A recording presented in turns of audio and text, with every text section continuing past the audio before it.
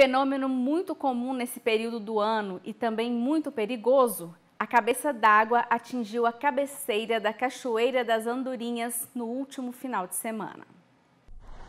foi visto na tarde do último domingo, na Cachoeira das Andorinhas, em Ouro Preto, o fenômeno cabeça d'água, principalmente na região sudeste, onde o verão é acompanhado de um forte calor e chuva repentina. A cabeça de água ou cabeça d'água é o aumento rápido e repentino do nível de um rio corrente ou cheio, devido a chuvas nas cabeceiras ou em trechos mais altos do seu percurso, diferente da tromba d'água. O fenômeno já deixou vítimas em outras cidades do estado.